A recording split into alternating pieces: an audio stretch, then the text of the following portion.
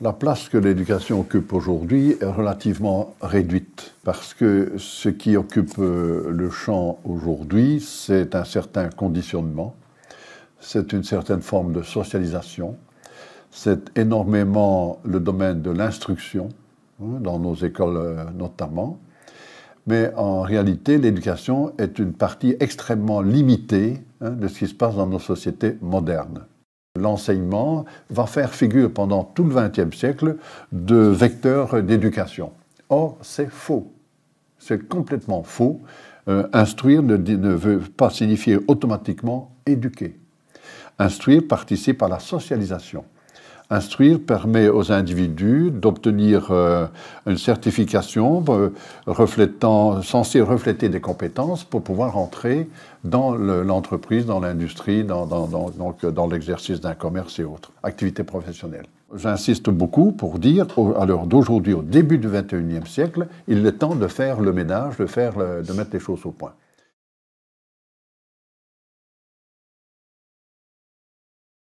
L'émancipation. Quand euh, on, prononce le mot émancipation, c'est là qu'on prononce le mot éducation. Donc, il y aura éducation à partir du moment où l'individu va euh, apprendre, apprendre en tout cas trouver des éléments de réponse face à un problème qui se pose à lui et qu'il va être capable de résoudre ce problème pour aboutir à un état en qualité supérieure à l'état précédent.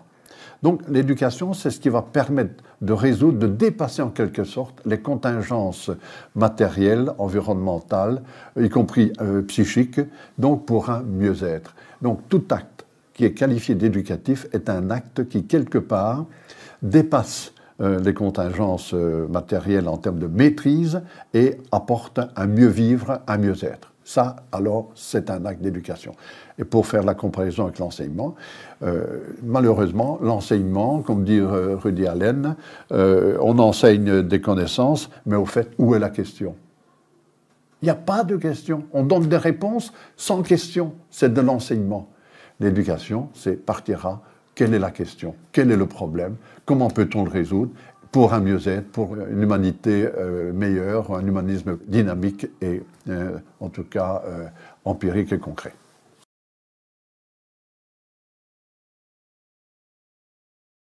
La première étape d'une éducation, c'est la prise de conscience hein, des limites du système dans lequel nous vivons.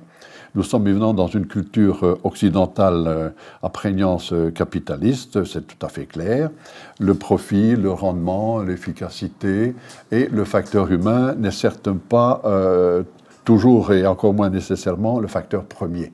Deuxième observation, pour faire comprendre l'enjeu de l'éducation, je vais vous citer une phrase que j'ai reçue lors d'un entretien avec une personne qui avait eu un vécu euh, très, très sévère, qui était tombée en alcoolisme profond, qui en était sortie. Elle me dit, en fin de, de parcours, elle me dit au fond qu'elle me dit, le développement de l'être humain est sans limite, sauf que c'est l'éducation qui lui en impose. Donc, il faut prendre conscience que l'éducation va nous permettre d'ouvrir le monde ou de nous enfermer dans un monde. La finalité, évidemment, c'est toujours de voir, euh, de s'en référer aux valeurs les plus fondamentales, qui sont liberté, égalité, fraternité, font partie aussi d'une visée d'une éducation à, revisiter, à revisiter, parce qu'on a vu ces valeurs ont été développées avec une société euh, au développement euh, économique capitaliste, alors qu'aujourd'hui, euh, on est en droit hein, à s'interroger sur les limites de ce système par rapport à l'humain.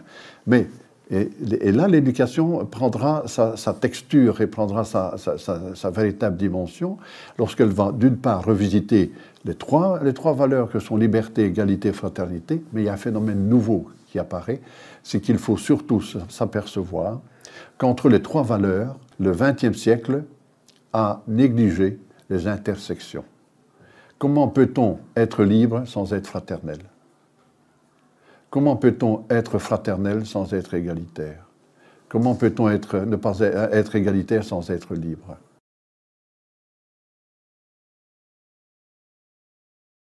Qu'est-ce qui fait qu'il est si difficile euh, de déclarer l'enseignement traditionnel hors la loi?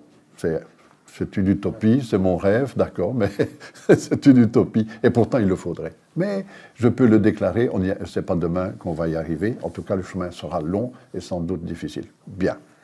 Deuxième point, si on regarde maintenant tous ceux qui portent le titre de pédagogue à travers l'histoire, tous ont très bien euh, exprimé euh, une, partie, souvent des parties essentielles de la réponse.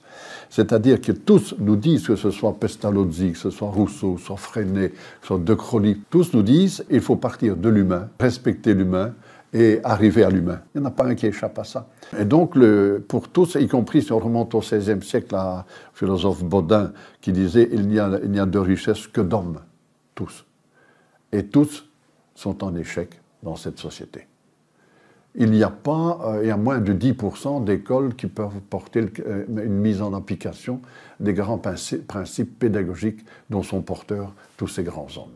Et pourtant, étant euh, à la fois tellement pessimistes que nous sommes condamnés à l'optimisme en tant que pédagogue. Un pédagogue ne peut pas en rester au pessimisme. Il part d'une observation réaliste du champ qui fait qu'aujourd'hui, oui, les enseignants sont débordés, oui, ils sont, ils sont confrontés à une population qui a changé, oui, les élèves d'aujourd'hui ne sont plus les élèves d'hier, hein. les enfants, de, les jeunes enfants d'aujourd'hui, ils, euh, ils, sont porteurs d'une potentialité de vie extraordinaire. Un enfant qui naît aujourd'hui est appelé à être centenaire. Ça veut dire qu'il apprendra toute sa vie. Et donc, ce qu'il apprendra euh, aujourd'hui à 3 ans, 6 ans, 9 ans, 10 ans, 12 ans, c'est plus la même chose qu'hier. On pouvait avoir une espérance de vie à 50, 60 ans. Hein. Le monde a totalement changé.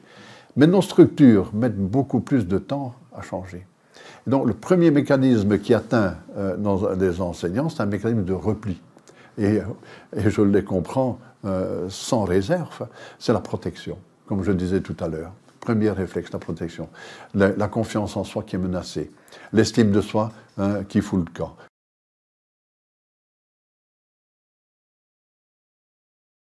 Alors, comment partir vers cette émancipation?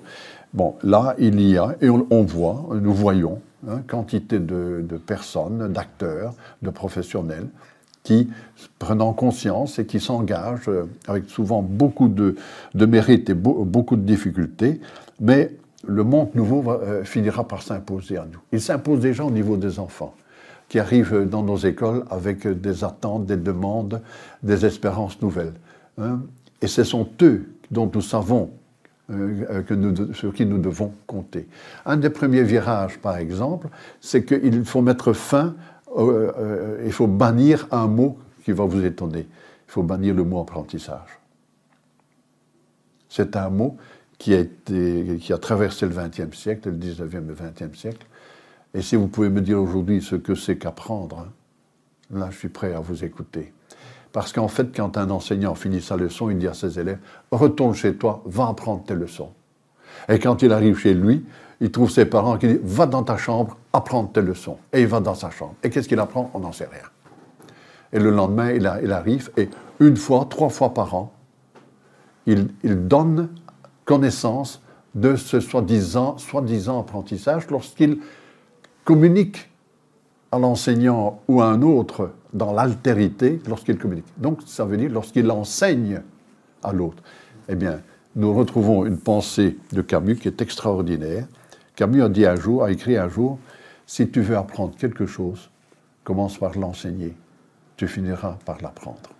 Donc, une des réponses à cette monde nouveau de lancer des méthodes nouvelles et de tous les grands pédagogues auxquels je souligne en tout cas mes liens, c'est la pédagogie de Célestin Freinet, a très bien compris qu'il fallait donner à l'élève un statut autre, plus le statut d'apprenant, mais le statut d'enseignant.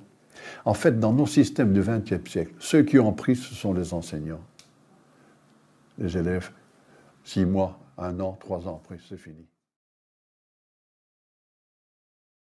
Ça, c'est le plus grand pédagogue que la Terre ait engendré. C'est Polo le lapin. Phénomène euh, extraordinaire. Euh, à partir de là, euh, on peut vous montrer des séquences. L'enfant vous dit Polo, je le porte dans mon cœur. Hein? Polo, il m'apprend des mots. Avec, Polo, je, fais plein de choses. Je danse. Hein, je cuisine, je retourne à la maison, hein, je, chante, hein, Polo visite. Et de la maison, puisqu'il va retourner à la maison, il va vivre le week-end à la maison, et il va revenir à l'école, avec au moins un mot de la famille que Polo, avec l'enfant, va ramener à, l'école pour apporter euh, aux autres. Et on va faire un capital de langage qui vient de la maison vers l'école. Donc là, une, euh, l'altérité en quelque sorte euh, dans le champ de l'éducation entre la famille et l'école. La prise en compte qu'à l'extérieur de l'école, on parle autrement, avec d'autres mots, et que ces mots sont considérés, sont acceptés, sont intégrés, sont partagés. Et puis l'idée centrale, c'est que l'enfant va repartir à la maison avec les jeux joués à l'école, et c'est lui qui va faire les jeux à ses parents. Et c'est là qu'il devient l'enseignant de ses parents. Donc très tôt, le plus tôt possible, l'enfant est un enseignant. Il enseigne à Polo, lui enseigne, hein, et c'est une interactivité permanente entre deux. Et ça, c'est un, élément qui va nous donner des résultats assez extraordinaires. Euh, si, maintenant euh, vous pouvez, venir avec nous écouter des groupes de parents qui nous racontent euh, comment ça se passe à la maison. Ils découvrent leur enfant. Vous vous rendez compte? Je ne savais pas qu'il était capable de me raconter une histoire. Vous vous rendez compte? Maintenant, c'est plus moi qui raconte une histoire, c'est lui. Et donc, l'enfant revient ensuite à, l'école et fait conférence. Il raconte.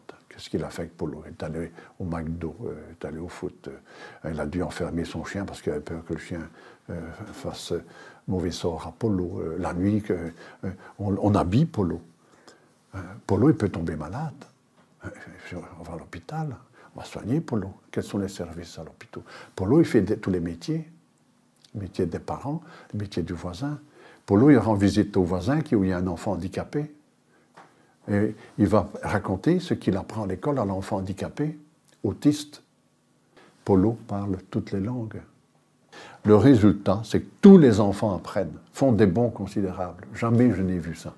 Et ce qui est le plus incroyable, c'est que les enfants de culturellement, milieu culturel favorisé continuent à apprendre. Les enfants de milieux défavorisés apprennent et l'écart se réduit. Et les enfants de milieux étrangers font des bons fantastiques. Donc les enseignants en tirent un immense plaisir parce que l'enfant prend plaisir.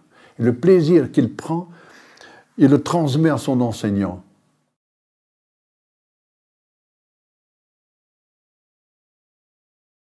ce qui est l'obstacle majeur, c'est la peur, c'est l'angoisse. Et c'est un paradoxe, parce que l'angoisse, c'est à la fois le moteur le plus nécessaire, le plus incontournable, le plus, euh, qui peut nous amener à l'émancipation. Les gens qui font les plus belles choses sont des gens qui qui cachent au mieux leur peur. Nous avons tous peur, nous sommes tous angoissés. Malheur d'aujourd'hui, la peur est cultivée, la peur est entretenue. Si vous regardez le, métier d'enseignant, quand vous voyez les, directives qui viennent d'en haut et qui descendent, on, voit que manifestement, euh, si vous bougez la, petite phalange du, petit doigt, vous allez devoir rendre des comptes. Qui vous a donné euh, l'autorisation? L'autorisation. Vous n'êtes pas auteur des actes que vous posez. Vous êtes un agent, vous êtes agi.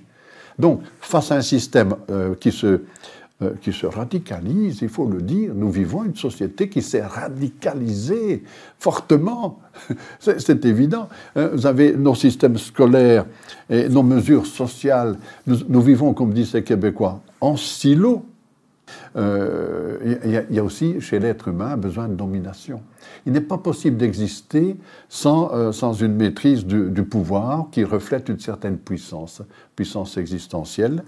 Hein, euh, ça fait partie de la vie, c'est un mécanisme de vie. Je domine l'autre ou l'autre me domine. Donc, c'est là l'interactivité qui, qui s'opère. c'est une guerre psychique, une guerre relationnelle, l'agir communicationnel. Qu'est-ce que c'est? Ben, Ça veut dire que quand j'interagis avec l'autre, ce que j'apporte à l'autre part de mon vécu personnel et va interpeller le vécu personnel de l'autre. En retour, en retour, je serai sensible au retour du vécu personnel de l'autre qui va venir résonner dans mon vécu personnel. Donc, c'est une interactivité de vécu à vécu.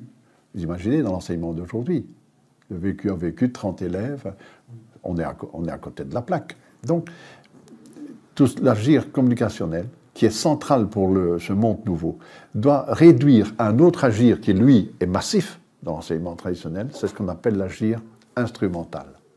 L'agir instrumental signifie que je donne la priorité, la primeur à mon vécu personnel, qui est en même temps la finalité, et je l'impose à l'autre. Ça veut dire j'annule, j'anéantis, je ne tiens pas compte, je mets à l'écart. Il me fait peur, l'angoisse, l'inquiétude, l'insécurité qui provient du vécu de l'autre, je l'élimine.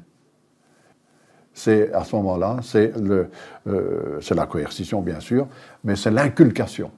Nous sommes dans une société d'inculcation de par la peur. Cette société, euh, si elle en reste là, c'est l'aliénation garantie. Nous allons nous replier, nous allons sans cesse faire des frontières, hein, nous euh, barricader. Bon, par contre, aller vers euh, l'écoute de l'autre et donc là, comment maîtriser sa peur, comment maîtriser, basculer du côté d'une angoisse maîtrisée qui va être au fondement de l'émancipation. il faut désenclaver l'éducation. Il faut désenclaver l'enseignement. Ça veut dire qu'il faut faire comprendre, et c'est le titre d'un de nos derniers ouvrages, éduquer, c'est l'affaire de tous. Quand on aura compris ça, euh, c'est désenclaver l'éducation qui est la mesure la plus urgente qui soit. Ça signifie que, euh, évidemment, que l'école doit éduquer, évidemment, mais l'école doit savoir que ce qui éduque le plus aujourd'hui, c'est la famille.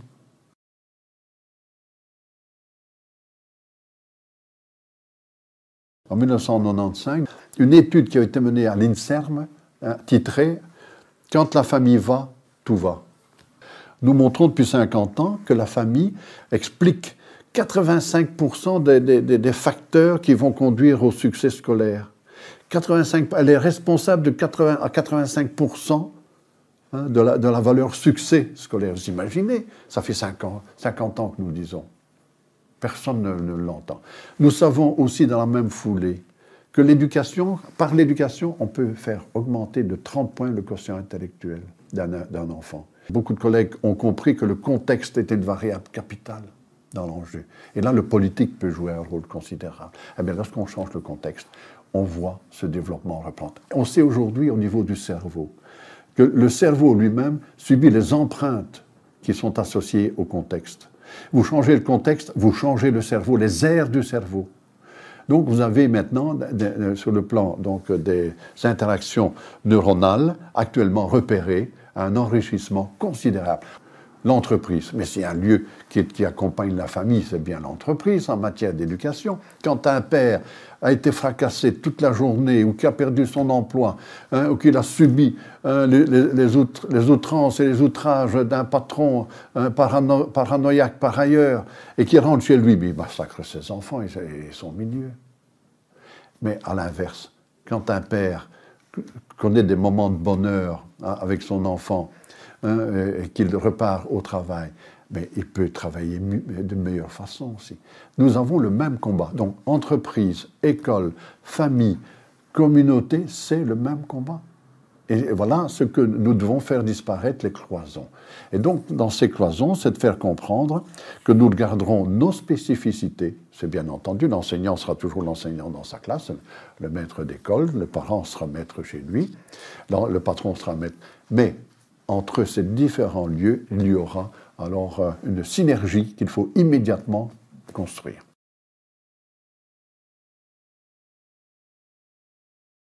À 5 ans, les enfants entre eux ont déjà incorporé 80% des différences syntaxiques qui existent entre les milieux sociaux. Donc, si vous voulez, ils, ont ils endossent déjà les costumes, les habits des classes sociales, culturelles, favorisées, moyennes ou défavorisées, à 5 ans. Il est possible de changer ça par la coéducation. L'aventure a commencé en 2008 et elle s'est étalée jusqu'en 2013. Et pendant 5 ans, nous avons travaillé à Charleroi. Dieu sait si Charleroi est un lieu hein, pas facile. À Etterbeek, parce qu'il nous fallait aussi un point de chute sur Bruxelles, c'est un ministre qui l'avait exigé, et Perruet, à la frontière française, une ville à la campagne. nous avons pris tous les enfants nés âgés de 3 à 6 ans. Il fallait un point de chute très concret. Nous avons pris toutes les familles. Nous avons pris un thème, le thème le plus central dans l'aventure qui, nous, interpelle aujourd'hui, c'est celui du développement des langages. Aujourd'hui, si, demain vous ne parlez pas trois langues, vous serez sur le côté. Si vous ne maîtrisez pas le langage euh, en informatique, vous serez sur le côté. Si vous ne maîtrisez pas le, langage des lois sociales, vous êtes sur le côté, y compris le code de la route, euh, bon, hein. tout, partout sont des langages. Donc, il y a une urgence incroyable à développer la pensée sémiotique, la pensée symbolique, au plus tôt, tant chez l'enfant, mais, et c'est là qu'intervient une première considération, si tu veux apprendre à parler à un enfant, commence à apprendre à parler à sa mère. Deuxième euh, référence, il est africain, c'est un proverbe. Il faut tout un village pour éduquer un enfant. C'est capital. Et donc là, nous sommes partis dans toutes ces écoles maternelles, rencontrer les enseignants et euh, les directions et les parents. Euh, on n'a pas eu trop de difficultés du, début à la fin avec les parents. Les parents vivent en première ligne. Ils savent que l'avenir est incertain. Ils ont eu quelques passages difficiles avec les enseignants qui nous, qui nous disaient, mais enfin, vous n'êtes pas bien dans la tête, les, parents ne s'occupent pas de, leurs enfants, hein, les feuilles reviennent déchirées, elles reviennent tachées. Euh, jamais l'enseignant ne se demande, mais si la feuille revient tachée ou déchirée, quelle en est la cause? Nous avons réuni finalement un petit peu à la fois, une institutrice s'est levée en disant Oui, ben oui, moi j'ai rencontré les parents, euh, ça s'est bien passé. Ah bon? Et une autre dit ah, Ben oui, moi aussi. Et donc à un moment donné, on, est on a basculé du pourquoi au comment. Parce que c'est ça l'enjeu de la coéducation. C'est qu'on a rassemblé des jeux de langage. Donc nous avons introduit dans nos jeux de langage, dans les jeux de langage, hein, euh, le vocabulaire de 3 ans, 4 ans, 5 ans. Ça, c'est un fait capital, parce que jusqu'ici et encore aujourd'hui, les enfants vont en classe maternelle et on n'a pas de garantie qu'ils progressent de, 3 ans, 4 ans, 5 ans dans une maîtrise euh, du langage. Donc, dans ces jeux-là, si les enfants, on leur propose de jouer à l'école euh, et ensuite ils vont jouer à la maison, hein, ce, langage, on peut considérer et mettre l'objectif à vérifier qu'ils maîtrisent à 6 ans les, les 1800 mots de vocabulaire.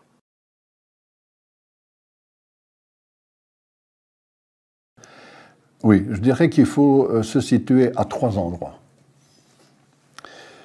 Euh, le premier, c'est celui le plus à l'écart, c'est celui de l'utopie. On va fêter le 500e anniversaire de la sortie de Utopia, Thomas More. Donc, euh, l'utopie, c'est ce qui se projette devant nous à l'horizon, c'est à l'écart de ce que nous sommes aujourd'hui euh, et sans doute encore demain. Donc, important, une société sans utopie, c'est une catastrophe. Et donc, aussi une, réflexion, mais à quoi sert l'utopie? Elle sert à avancer. Si vous faites un pas, elle recule d'un pas. Si vous faites un deuxième pas, elle recule d'un deuxième pas. L'utopie, à quoi sert-elle? Alors, deuxième endroit, il faut être à la lisière. Être à la lisière, c'est justement être euh, présent euh, au moment opportun, comme nous vivons actuellement des moments opportuns, qui sont maintenant les moments euh, à la lisière. Savoir par exemple que la coéducation peut nous permettre de lutter contre le radicalisme. Ça, c'est la lisière. Aujourd'hui, nous sommes à la lisière parce que la sensibilité, elle est aux frontières. D'accord? Troisième position, il faut aussi être capable d'être au centre. Autre centre, c'est parce qu'il faut être réaliste. Et justement, c'est là que la dimension du scientifique trouve sa présence. Le scientifique, celui qui va évaluer ce que je vous ai raconté aujourd'hui. Celui qui vous dira, parce qu'il est obligé de plaider euh, en faveur et en défaveur. C'est lui qui est obligé de faire la critique. Et donc, au centre, il vous dira, comme je vous disais tantôt, l'enseignement traditionnel, malheureusement, il a encore de beaux jours devant lui. Parce que nous allons et dans ce euh, changement espéré, euh, transition souhaitée, c'est pas rien n'est gagné. Pas du tout. Nous allons assister à un repli, à un retour en arrière, à une, une accentuation même du doute. Mais jusqu'au jour, je l'espère, le doute deviendra fécond. Où la confiance reviendra, une confiance de base, où on nous dira, et c'est ce que nous essayons de faire avec la cité de l'éducation, nous essayons de faire de petites cités d'éducation, une cité de quartier, où il fait bon vivre, retrouver le bon vivre ensemble. C'est que l'être humain n'est pas fait pour vivre seul, enfermé, isolé, à l'écart du monde. L'être humain est un être d'altérité. Essentiellement, j'existe dans le regard de l'autre. Et ce n'est que le regard de l'autre qui me fait exister. Et à partir de là, ma psychologie va se développer. Pour moi, l'être humain est d'abord un être sociologique, social, avant d'être psychologique. Et donc, là, nous gagnerons. Nous gagnerons à coup sûr. Moi, j'en ai la certitude. L'être humain gagnera c'est ce qu'on peut appeler cette guerre d'aujourd'hui, grâce à cette qualité de création via l'altérité. Et c'est parce que je me mire dans le regard de l'autre et que dans ce, narcissisme de base que je pourrais dépasser, qui va me construire, hein, qui va me permettre de construire un monde nouveau, avec évidemment l'humanisme nécessaire et évidemment la pratique des vertus et signaler tantôt euh, sauvegarder ma liberté, hein, euh, bien entendu, tout en étant nécessairement fraternel et combien de, de, plaisir d'être euh, dans l'égalité. Tout ça, c'est constamment à construire. Donc il y a constamment une opération créatrice et créative qui accompagne la vie, et c'est peut-être ça qu'on en veut un peu négliger au XXe siècle.